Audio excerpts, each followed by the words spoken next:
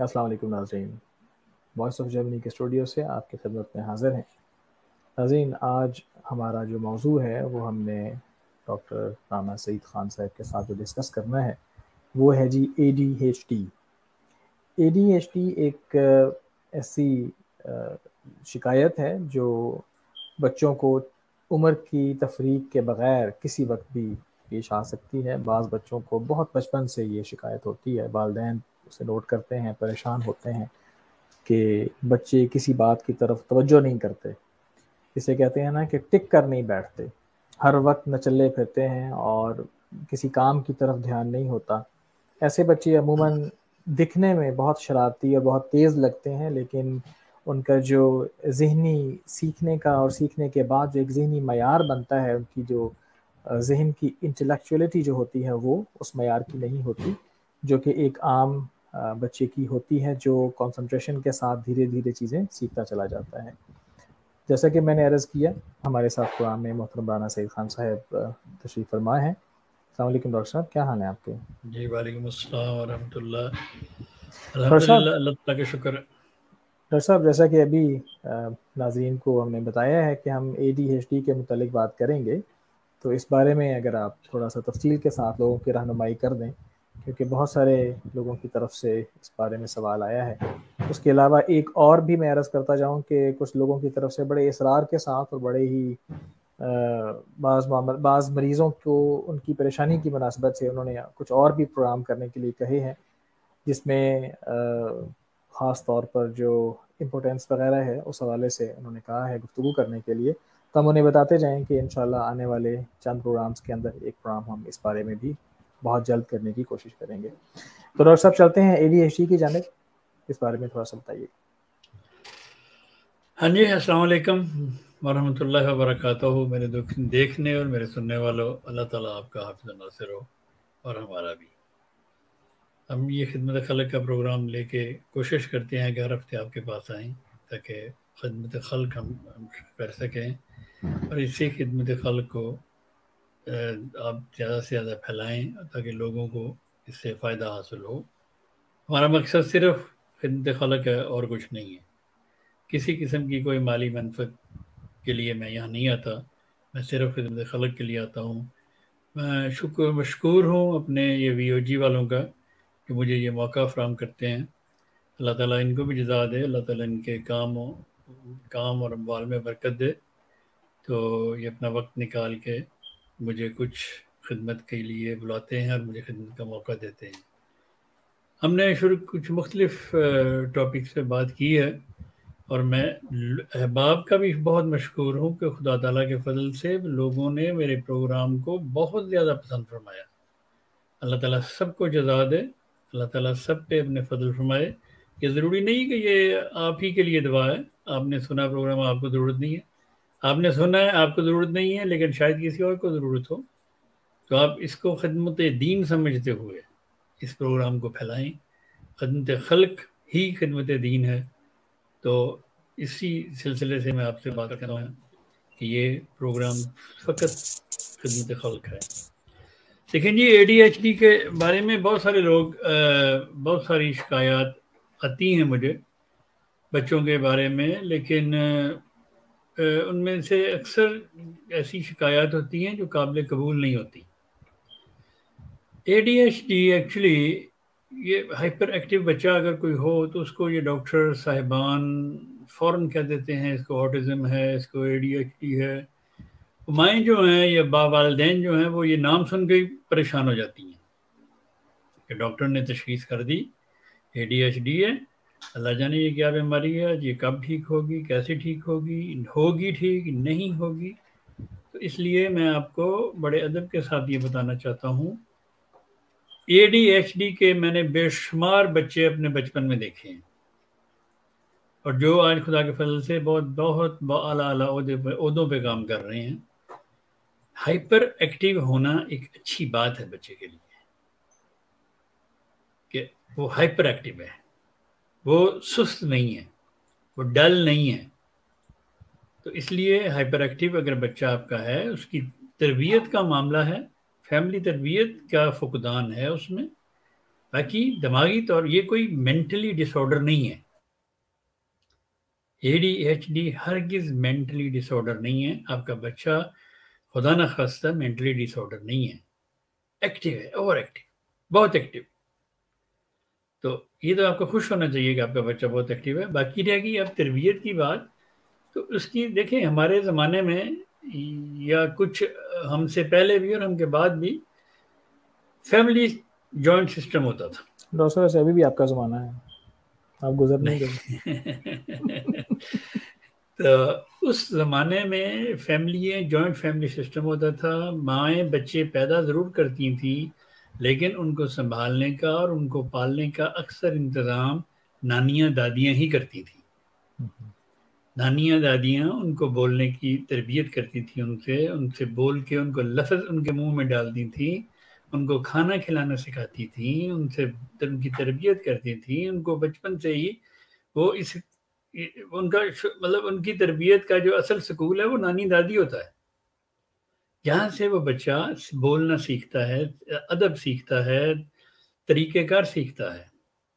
आजकल के ज़माने में तो ये है कि ना माँ के पास टाइम है ना बाप के पास टाइम है।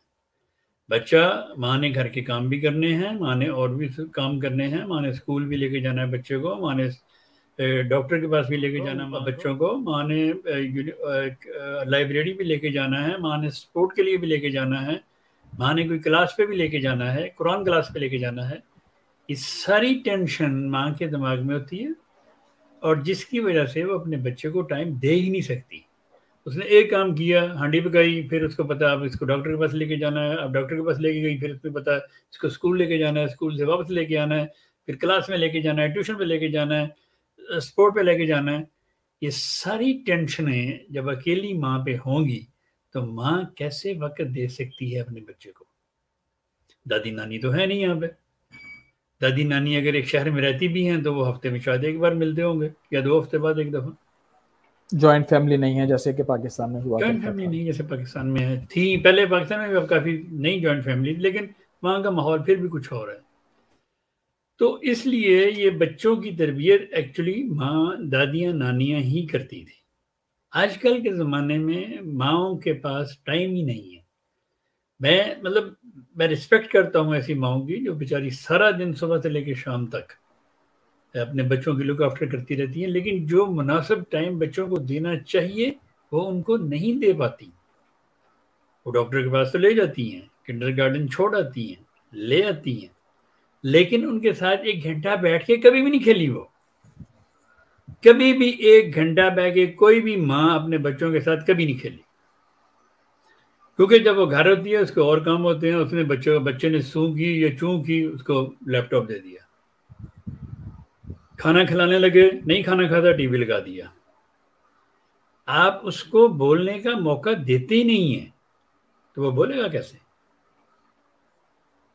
तो इसलिए ये प्रॉब्लम्स पैदा हो रही हैं। लेकिन जो रिसर्च हुई है इसके ऊपर ए डी ऊपर, उसमें ये उन्होंने बताया है कि एक्चुअली माँ प्रेगनेंसी के दौरान शदीद टेंशन में रही है। माँ अगर प्रेगनेंट दौरान प्रेगनेंसी टेंशन में होगी तो उनके बच्चों के दिमाग पे कुछ इस किस्म का असर हो सकता है कि उनकी वो जो लर्निंग की ता, सीखने की तकवत है, वो कम हो जाए। हाइपर एक्टिव तो है, चलाएँगे तो मारता है, सोफे से नीचे नीचे से ऊपर ऊपर से नीचे इट्स गुड साइन कि बच्चा एक्टिव है एक्टिव होना चाहिए उसको।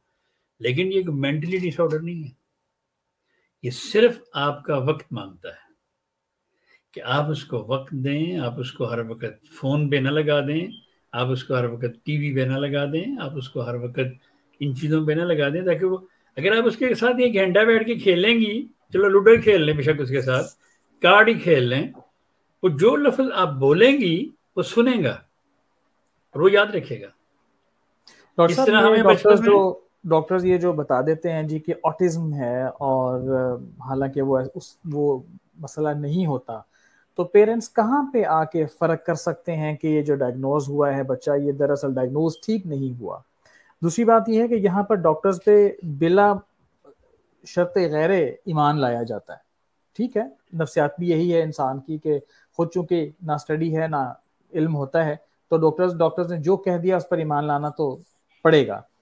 तो खुद कैसे फ़र्क महसूस किया जा सकता है कि बजाय इसके कि इंसान सोग की कैफियत में चला जाए, शौक में चला जाए, परेशान हो जाए, किसी होम्योपैथ के पास आ जाए, आपसे रबता कर ले वगैरह वगैरह। मैं इसीलिए सारी तफसील बता रहा हूँ बार बार इसको दोहरा रहा हूँ कि असल वजह क्या है। इस वजह को दूर करें, इस सिस्टम को चेंज करें। अपने, आपने प्रेग्नेंट, प्रेगनेंसी के दौरान, मैंने पहले भी कई प्रोग्राम में बताया कि प्रेगनेंसी के दौरान आपको टेंशन नहीं लेनी चाहिए। आपको अच्छे अच्छे म्यूज़िक सुनना चाहिए। आप कुरान पाक सुन सकती हैं, आप गज़लें सुन सकती हैं, आप गाने सुन सकती हैं, ताकि आपका मूड बहाल रहे। आपका मूड टेंशन टेंशन टेंस ना हो ताकि आपके आने वाले बच्चे पे उसका असर ना हो। आपको मैं एक और बात बताऊँ कि डॉक्टर आइंस्टाइन जो डॉक्टर आइंस्टाइन था उसको भी उस जमाने के डॉक्टरों ने कहा था कि ये बच्चा एडीएचडी है। हम्म, जी जी जी बिल्कुल। ठीक है? लेकिन बाद में वो क्या बना? दुनिया का एक अजीम साइंसदान बना। हाइपर एक्टिव बच्चा हमेशा तेज होता है उसका दिमाग बहुत चलता है लेकिन उसको सिर्फ़ तरबियत की ज़रूरत है। लेकिन अगर हाँ जी सब्र के साथ। आप उसको डे ऑफ़ नाइट तो चेंज कर ही नहीं सकते। हम्म। किसी भी सूरत में किसी भी चीज़ को नहीं कर सकते। उसकी मेन ऑटिज्म है बच्चे को या एडीएचडी है या बच्चा ध्यान नहीं देता या बच्चा पढ़ता नहीं है सही तरह बच्चा तवज्जो नहीं देता। मैं आपको ये कहता हूँ कि अगर बच्चा आपका एक दिन कहता है मैंने स्कूल नहीं जाना उसको मत पुश करें। उसकी बात मान लें।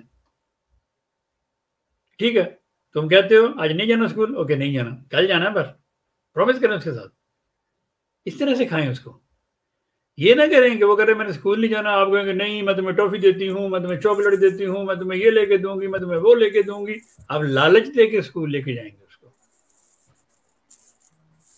अगर एक दिन स्कूल नहीं जाएगा तो कोई क्यामत नहीं आ जाएगी। एक दिन किंडर गार्डन नहीं जाएगा, बच्चा तो कोई क्यामत नहीं आ जाएगी। इसलिए बच्चों के साथ गिव एंड टेक करें। बच्चों के साथ उनके मुताबिक बात करें, क्योंकि आपके यहाँ पे उनको संभालने वाला कोई नहीं है। ना दादी है ना नानी है। आप ही ने उसको डील करना है, आप ही ने उनके साथ रहना है, आप ही ने उनकी तरबियत करनी है, आप ही ने उनको सारा कुछ सिखाना है। तो इसलिए मेरी नहायत अदब से दरख्वास्त है। कि इस, अगर आपका बच्चे को डॉक्टर कहता है जी इसको ए डी एच डी हो गया है, इसको ऑटिज्म हो गया है, इसकी हम थेरापीज करेंगे, हम, आप लाख थेरापीज करा लें, थेरापीज से कभी कोई ठीक नहीं होता। वो जी, हम ये बच्चा बोलता नहीं, हम इसकी थेरापी करेंगे, थेरापी करके क्या कर लेंगे वो? कुछ नहीं कर सकते। इसलिए ऐसी मतलब अगर बच्चा आपका बोलता नहीं है, मैंने खुदा तला के फ़सल से ऐसे बेशुमार इलाज किए हैं। ऐसे बच्चे जो चलते नहीं थे, ऐसे बच्चे जो बोलते नहीं थे, लेकिन मैं ये नहीं कहता कि मैं, मैंने इल्ला माशाल्लाह शायद किसी का मेरे से इलाज ना हुआ हो। मैंने खुदा के फल से इसके बहुत इलाज किए उन सबको डॉक्टरों ने यही कहा था, इनको ए डी एच डी है, इसको ऑटिज्म है, इसको ये है, इसको फलां है, इसको ठीक है। ऐसी कोई बात नहीं है। बच्चा अगर आपका, अगर आप अपनी प्रेगनेंसी में ठीक रहें तो खुदा तला के फजल से जो भी बच्चा आपका इस दुनिया में आएगा, वो सेहतमंद होगा।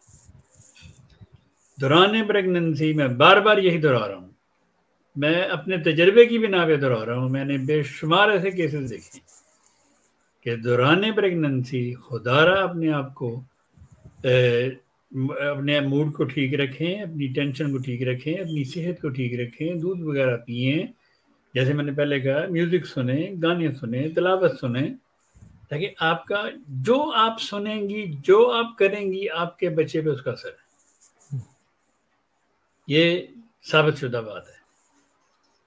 तो इसलिए आपको चाहिए कि अपने ऐसा माहौल पैदा किया जाए या ऐसा ऐसा टाइमिंग सेट करें कि एक घंटा बाप अगर टाइम दे सकता है बच्चे को, वो उसके साथ खेले, उसके साथ बातें करे, उसके साथ, ये नहीं कि आपने टीवी लगा दिया और साथ बैठे उसके साथ गप्पे मार रहे हैं। नो टीवी बंद लैपटॉप बंद फ़ोन बंद।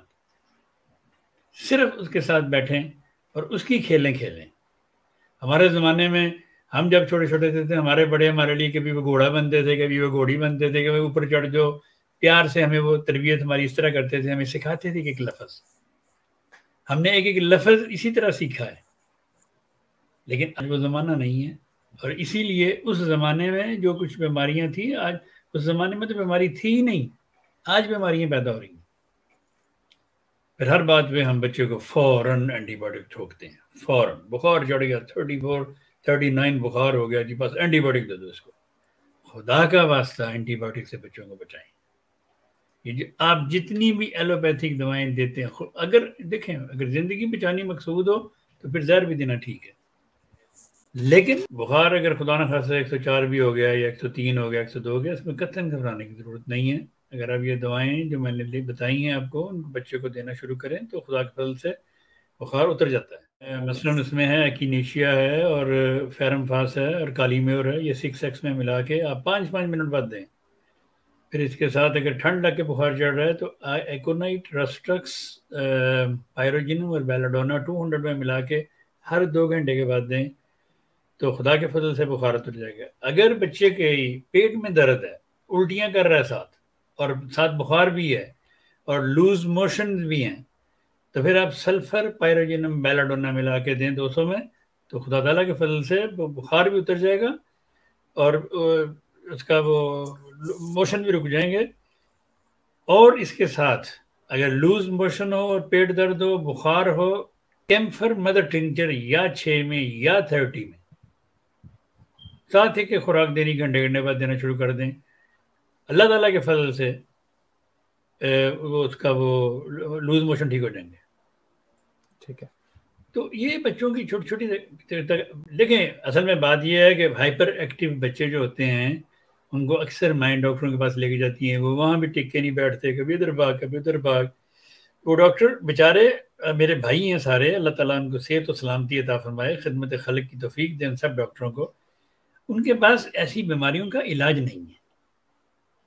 क्योंकि उन्होंने अपनी मर्ज़ी से तो कोई दवाई देनी नहीं है। होम्योपैथ को ये हक है, होम्योपैथ सिर्फ़ अपनी मर्ज़ी से दवाई देता है और कोई डॉक्टर नहीं देता।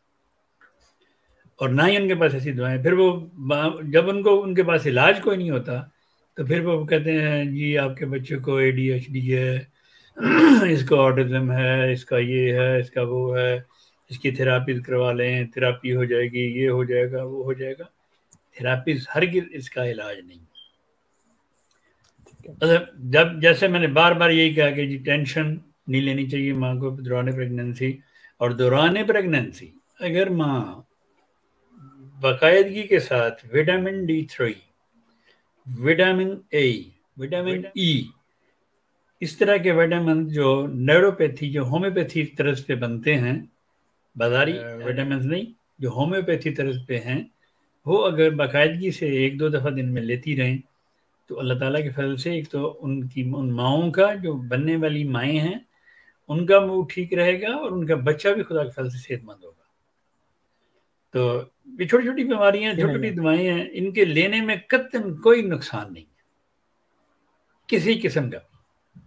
मतलब अगर विटामिन ए लेते हैं विटामिन ई लेते हैं विटामिन विटामिन ए ई और डी। और डी सी नहीं है उसमें ना? नहीं नहीं सी नहीं। तो ये मिला के भी ले सकते हैं अलग अलग भी ले सकते हैं। तो इससे अलग फल से आपका बच्चा खुदा के फल से सेहतमंद होगा और ताकतवर होगा। और आप भी खुदा के फल से ताकतवर रहेंगी। मैंने पिछले भी एक प्रोग्राम में बताया था प्रेगनेंसी में, दौरान प्रेगनेंसी माओ को विटामिन विटामिन बी सिक्स लेना चाहिए।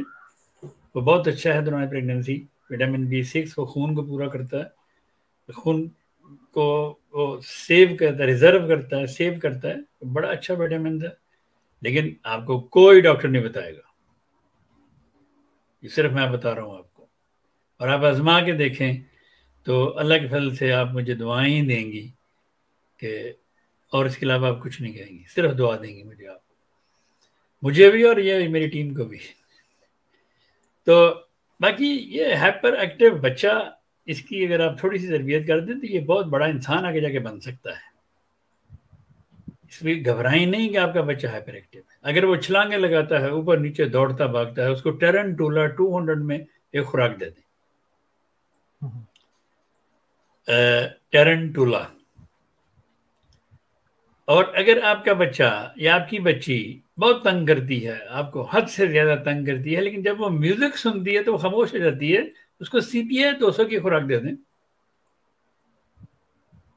हम्म। ठीक हो जाएगी इंशाल्लाह। मतलब मेरा मतलब कि बस ठीक होना शुरू हो जाएगा उसका मजाज बदलना शुरू हो जाएगा। कितना अरसा दवाई देनी चाहिए हफ़्ते में एक डोज। अच्छा हफ़्ते में एक डोज ठीक है। मतलब देखें असल में दवाई देने का तरीक़ेकार तो यही है कि एक डोज या दो डोजें दें फिर वेट करें। हम्म। इस किस्म की बीमारियों में। क्योंकि ये आप ज़ोर बाजू से तो ये ठीक नहीं कर सकते ये निज़ाम है अल्लाह ताला का उसी ने ठीक करना है हम्म। खुदा ताला ने ही ठीक करना है खुदा ताला ही इन दवाइयों ये दवाइयाँ तो सिर्फ़ टोन अप करती हैं फजल खुदा ही करता है हम्म। तो ऐसे ही मतलब चीज़ें जो हैं छोटी छोटी दवाएँ हैं छोटी छोटी ये चीज़ें हैं माँ को हमेशा खुश रहना चाहिए टेंशन नहीं लेनी चाहिए प्यार देना चाहिए ऐसे बच्चों से प्यार से मिलना चाहिए उसकी ज़िद भी कभी मान लेनी चाहिए ना कि हर दफ़ा उसको ही डांटे कि नहीं नहीं, तुमने ये नहीं करना, तुमने वो नहीं करना, तुमने ऐसे नहीं करना। तो ऐसे किया, एक मतलब कई माएँ लगा भी देती हैं। हमें भी लगती थी वैसे तो। लेकिन बार तो वो बच्चे को कभी कभी लगा देना भी उसकी तरबियत का हिस्सा है। छोटा मोटा ज़्यादा नहीं। छोटा मोटा एक आध उसके पसकों पे एक आध चपेट लगा दें तो कोई ऐसी बात नहीं है। इतना ना मारें कि वो बच्चा मतलब उस पर निशान पड़ जाए। सिर्फ़ उसको समझाने की खातर थोड़ा बहुत अगर आप इसके पसकों पे दो चार लगा भी दें तो उसको, उसका पता होगा कि मुझे माँ मारेगी। तो इसलिए इन चीज़ों को इतना सीरियस नहीं लेना चाहिए कि जी वो बस सिर्फ़ अपना मॉडर्न लाइफ स्टाइल चेंज करें, बच्चे को वक़्त दें। आप बच्चे को वक़्त दें, कम अज़ कम एक घंटा डेली। आपका बच्चा खुदा के फजल से बहुत तरबियत याफ्ता हो जाएगा। कल आपको जब वो जवान होगा तो आप उस पर फ़ख्र करेंगे। अपना टाइम बचा लें, और कामों से टाइम बचा लें। जितने मैंने देखे, मैंने सारे गिनवाए। हैं मुझे पता है, मैं आई सल्यूट सब माओं को मैं सल्यूट करता हूँ, जो यहाँ की माएँ हैं। यहाँ इनकी माओं पर बहुत बहुत बहुत बड़ा बोझ है। मैं इस बात को मानता हूँ। तो आई सल्यूट मतलब मैं सल्यूट करता हूँ ऐसी माओं को। वो बेचारी बहुत टाइम देती हैं अपने बच्चों को, लेकिन प्रॉपर टाइम एक घंटा निकालना है आपने। अगर आपने अपने बच्चे की तरबियत करनी, आप उसके साथ सिर्फ़ हर चीज़ के बगैर आपने सिर्फ़ उसके साथ खेलना। कोई फ़ोन नहीं, कोई लैपटॉप नहीं, कोई म्यूज़िक नहीं, कोई कुछ नहीं, सिर्फ़ उसके साथ बैठे, उसकी हरकतों जैसी हरकतें करें, उसकी तरबियत करें, जैसे कि आपकी तरबियत आपकी दादियों और आपकी नानियों ने की उसी तरह से। या जिस तरह हमारी तरबियत, हमारी दादी तो हमारी नहीं है हमने नहीं देखी, क्योंकि वो बहुत पहले फौत हो चुकी थी। तो नानी हमारी, अल्लाह बख्श, अल्लाह ताला उनके दर्जात बुलंद फरमाए, उन्होंने हमारी बहुत तरबियत की है। हद से ज़्यादा तरबियत। तो इसलिए आपने सिर्फ़ टाइम देना। क्योंकि हमारे वाले साहब तो हमें टाइम नहीं देते थे। ना हमारी वालदा टाइम देती थी। सच्ची बात है। उनके पास वक्त ही नहीं होता था इतना बड़ा घराना था। इतना वो हमारा लोगों का आना जाना जिम्मेदारा था हमारा और ये वो। तो हमारी नानी ने हमें बहुत टाइम दिया। भाई बहुत तरबियत की।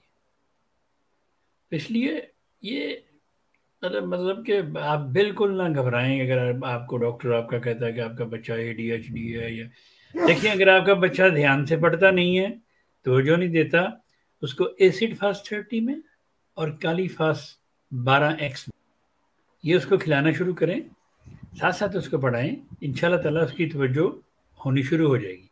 एसिड फास्ट थर्टी में दिन में दो दफ़ा काली फास्ट बारह एक्स में दिन में दो दफ़ा। ठीक है। और लेसे थीन बारह एक्स दिन में दो दफ़ा। या सिक्स एक्स में या बारह एक्स में कोई भी हो। ठीक है। ऐसी दवाएँ आप अपने बच्चों को एज ए फ़ूड सप्लीमेंट दे सकती हैं। ये दवाएँ, कोई ऐसी दवाएँ नहीं है कि जो आपके बच्चे को नुकसान पहुँचा सकें। ये दवाएँ हमेशा अल्लाह के फजल से आपके बच्चे को फ़ायदा देंगी। आप दिन में दो बार दे रहे हैं, एक महीना, दस दिन, पंद्रह दिन, बीस दिन दें, फिर दस, आठ दस दिन छोड़ दें उसमें, उसके बाद फिर शुरू कर दें। मतलब कंटिन्यूसली आपने को साल, दो साल, चार साल नहीं खिलानी। लेकिन इसी तरह वक्फे के साथ साथ आप खिलाती रहेंगी, आपका बच्चा डॉक्टर अब्दुलसलाम बनता जाएगा इन ताला। तो ये और साथ दुआएँ आपकी और साथ बुज़ुर्गों की दवाओं के साथ वो डॉक्टर अब्दुलसलाम बन सकता है।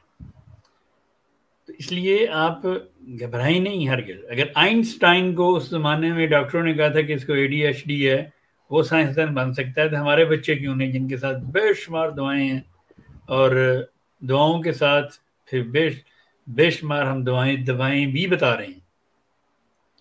तो यकीन अल्लाह ताला फजल फरमाएगा, अल्लाह ताला फजल करेगा। देखिए, मैंने आज बहुत सारी बातें समझाने के लिए कुछ बातें की हैं लोगों को, अपने अपने सुनने वालों को। तो ये सिर्फ़ इसी, इसीलिए की कि ये सब लोग मेरे बहन भाई हैं। तो अपने बहन भाइयों को जिस तरह मैं समझाता हूँ इसी तरह मैं अपने सुनने वाले और अपने देखने वालों को भी समझा रहा हूँ कि आप खुदारा हर गिज फ़िक्र न करें। आपके बच्चे बीमार नहीं हैं आपके बच्चों की थोड़ी सी तरबियत होने वाली है ये सब ठीक है। लेकिन मुझे ये बताएँ कि अगर आप कहेंगे अगर आपका बच्चा खुदा ना खासा हाइपर एक्टिव है डॉक्टर कहता है हाइपर एक्टिव है आपको कोई दवाई दे देगा तो वो डाल हो जाएगा तो आपको अच्छा लगेगा? हर हरगिज नहीं आप ये पसंद ही नहीं करेंगी। हरगिज कि आपका बच्चा डालो कि जहाँ जिसको बैठाया उसको जहाँ जैसे बैठा उसको बैठा दिया। जैसे वो डिप्रेशन के मरीजों को ये डॉक्टर एंटी डिप्रेशन गोलियाँ देते हैं वो डिप्रेशन का मरीज़ वो गोली खा के तो टोन हो जाता है तो वो समझते में ठीक हो गया। हालाँकि ऐसा होता नहीं है वो सिर्फ़ उसका दिमाग माफ़ होता है। बहुत तो शुक्रिया इसलिए, इसलिए ये ये जो ए डी एच डी और आउटिज्म है इसमें मुझे करती हैं बहुत सारी माएँ फ़ोन और बड़ी परेशान होती हैं लंबे लंबे मैसेजेस करती हैं। मैंने उनसे यही कहा था कि मैं एक प्रोग्राम करूँगा इस पर आप मेरा प्रोग्राम सुन लें ताकि मैं हर एक को बारी बारी में जवाब नहीं दे सकता। हम्म। तो एक ही जवाब हर एक को मुमकिन नहीं है डॉक्टर साहब दिन में दर्जनों के हिसाब से मैसेज आ रहे होते हैं और कॉल्स भी अलग से आ रही होती हैं तो, तो इसलिए ये मैं आपको बड़े मतलब मैंने खुल के आपको सारा कुछ बता दिया है कि ये हरगिज मेंटल डिसऑर्डर नहीं बीमारी नहीं है। आपके बच्चे को दिमागी कोई बीमारी नहीं है। ये जो ए डी एच डी और ए और ऑटिज्म वगैरह ये सिर्फ़ दिमाग को सीधे रास्ते पे लाना है तो उसके लिए खुदा ताला ने होम्योपैथिक दवाइयों का एक दरिया दिया हुआ है कि हर सिम्टम के साथ दवाई दी जा सकती है। मसलन आपका बच्चा रात को डरता है ठीक है? आपको रात को उठ के आपके पास आ जाता है आप उसको स्ट्रेमोनियम खिलाएँ थर्टी में या टू हंड्रेड में। अगर आपका बच्चा रात को चलता है उठ के उठ के मतलब चल चलता है और जाके फिर लेट जाता है, और आपको नहीं पता चलता, लेकिन ये आप देख लेती हैं, लेकिन उसको नहीं पता होता, उसके लिए काली ब्रोमाटम दवा है। आप काली ब्रोमाटम टू हंड्रेड में एक दो खुराकें देते हैं उसको तो ऐसे ऐसे ठीक हो जाएगा। तो इस तरह ये छोटी छोटी ये जितनी भी इलामत हैं, इन सिर्फ़ इलामत नोट किया करें कि ये बच्चा करता क्या है। उसके करने पे खुदा ने हर दवाई होम्योपैथी में दी हुई है। उसकी हर हरकत पे, अगर उसको खौफ है, ये स्ट्रेमोनियम खौफ की भी दुआ है। अगर वो डरता है, अगर आने वाले वक्तों से डरता है बच्चा, स्कूल जाने से डरता है बच्चा एकोनाइट दें, अर्जेंटम नाइट्रिकम दें, चलना शुरू हो जाएगा। लेकिन जैसे मैंने पहले कहा था कि अगर एक दिन वो नहीं जाएगा, कोई क़्यामत नहीं आ जाएगी। इसलिए बच्चे की हर जिद उसको ज़बरदस्ती ना मनवाएँ उसके साथ गिव एंड टेक करें। कभी उसकी मान ली, कभी कभी उसकी मना, मनवा ली लेकिन अगर आप जब सख्ती करेंगे इस तरह की कि उसको हर बात उसी से मनवानी है तो वह चढ़ जाएगा। तो फिर उसका ध्यान कैसे होगा? फिर उसका ध्यान होगा कि मैंने टीवी देख कब देखना है, मैंने लैपटॉप पे कब बैठना है, मामा मुझे फ़ोन कब देगी, बाबा मुझे फ़ोन कब देंगे? फिर वो इन बातों पे इसी इंतज़ार में रहेगा। तो घर घर के मसाइल हैं वैसे तो। तो इसलिए इन इनमें हर चीज़ घबराना नहीं चाहिए। आपके बच्चे को खुदा ना खास्ता कोई प्रॉब्लम है आप उसके सिम्टम नोट करें और किसी भी होम्योपैथ को बताएँ आप तो उसके लिए वो आपको बेहतरीन दवाई आपके लिए तजवीज़ करके देगा आपके बच्चे के लिए। ठीक है रोशन तो कई बच्चे होते हैं वो झूले से डरते हैं। हम्म। झूले में डालो तो चीखते हैं। उनको बोरक्स दें वो ठीक हो जाएँगे। कई बच्चे होते हैं वो सीढ़ियाँ उतरते हुए डरते हैं। सीढ़ियाँ उतरेंगे तो डरेंगे उनको बोरक्स दें वो ठीक हो जाएँगे। हम्म। कई बच्चे होते हैं जब वो कभी पुल के ऊपर चढ़े या कहीं पुल से गुजरना उनका तो वो डरते हैं कि हम कहीं नीचे ना गिर जाएँ। हम्म। तो उसके लिए अर्जेंटम नाइट्रिकम दें वो ठीक हो जाएँगे। तो ये सारी मेरी तजर्बात तजर मेरे सारे तजर्बात हैं जो मैं बता रहा हूँ आपको। मैं निचोड़ बता रहा हूँ आपको जो जो मैंने तजर्बात बच्चों पे किए हुए हैं। ये उनकी मैं दवाएँ बता रहा हूँ मैं ऐसे ही मतलब आपको ये जो धड़ाधड़ बता रहा हूँ इसलिए कि वो फ़िल्म मेरे दिमाग में चल रही जिन जिन बच्चों को मैंने जो जो दवाएँ दी हुई हैं। और जो उसके बाद बच्चे खुदा के फजल से यहाँ तो बच्चे थे उनको यहाँ के स्कूलों ने रिजेक्ट कर दिया था। हम्म, हम्म। वो बेचारे उनके माँ बाप उनको लेके इंग्लैंड चले गए। आज वो बेहतरीन उर्दू में काम करते हैं। दोनों को रिजेक्ट कर दिया था। कहता जी आप लोग तो वो क्या गिमना रियाल भी नहीं कर सकते।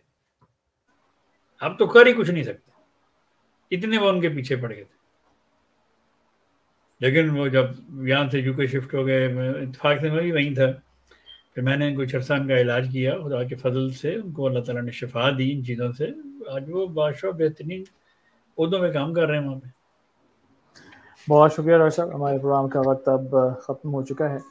आपकी तशरीफ़ आवरी का बहुत शुक्रिया। आपने बहुत तफसील के साथ बड़ी ही आपने गहरी बातें बताई हैं और जो पेरेंट्स हैं उनको आपने हौसला दिया है और ख़ास तौर पर आपने बच्चों के साथ, जो हमदर्दी के साथ अपने बातें की हैं, इनके लिए आपका बहुत बहुत शुक्रिया। नाजरीन के लिए हम बहरहाल एक बात, जो हम हर प्रोग्राम में कहने की कोशिश करते हैं, इस दफ़ा फिर बता दें कि ये जो सारी दवाइयाँ होती हैं, ये जनरल दवाइयाँ होती हैं। ये बताया जाता है कि इन इन मामलों में होम्योपैथिक जो है वो हमने आजमाई है और हमें उसका फ़ायदा नज़र आया है और बहुत अच्छा रिज़ल्ट नज़र आया है। लेकिन इससे मतलब हरगिज़ ये नहीं है कि आप घरों में बग़ैर एक्स्ट्रा बगैर प्रॉपर नॉलेज के आप ये दवाइयाँ अंधाधुंध इस्तेमाल करना शुरू कर दें। उसके लिए हम आपको बहरहाल यही दरख्वास्त करेंगे कि अपनी बीमारी, अपनी अलामत बताकर उसके मुताबिक आप दवाई तजवीज़ करवाएँ और इस्तेमाल करें इन फाका होगा। ख़ुद से दवाइयाँ बग़ैर एहतियात के, बग़ैर नॉलेज के, यूँ ही खाम खा इस्तेमाल ना करें। जो नुकसान भी दे सकती हैं। इसके साथ ही नाजरीन हमें इजाज़त दीजिएगा। अगले प्रोग्राम के साथ हम हाजिर होंगे। वाइटामस के बारे में आ, सवाल आए थे जी कि उसका नेक्स्ट प्रोग्राम कब आ रहा है। पिछला हफ़्ता सफ़र की वजह से हम प्रोग्राम नहीं कर सके। इस हफ़्ते भी सफ़र में हैं हम और हज़ारों मील दूर हैं घर से। लेकिन कोशिश की हमने कि आज का प्रोग्राम हम कर सकें और आज का प्रोग्राम जो है वो मिस ना हो। तो आने वाले दिनों में हम वाइटामिन के ऊपर प्रोग्राम लेकर आएँगे। जो मर्दाना कमज़ोरी है उसके ऊपर भी प्रोग्राम हमारा ड्यू है और बच्चों के ऊपर जो सवाल होने हैं मुख्तलिफ़ जो आए हुए हैं आ, उनके मतलब भी हमारा प्रोग्राम ड्यू है। ये तीन प्रोग्राम अगले आने वाले तसलसल के साथ पेश होंगे। देखेंगे कौन सा प्रोग्राम पहले हो सकता है किस पे डॉक्टर साहब हमें टाइम देते हैं और इन फिर हम उसको नशर करेंगे। इसके साथ ही नाजीन हमें इजाज़ दीजिएगा खुश रहिए अपना ख्याल रखिए। जो एस ओ पीज़ आपकी हुकूमत ने आपके डॉक्टर्स ने आपको बताई हैं पर भरपूर अमल कीजिए। ख़ुद भी महफूज रहिए, अपने माहौल को, अपने बुज़ुर्गों को महफूज रखिए। इजाज़ दीजिएगा। शब खैर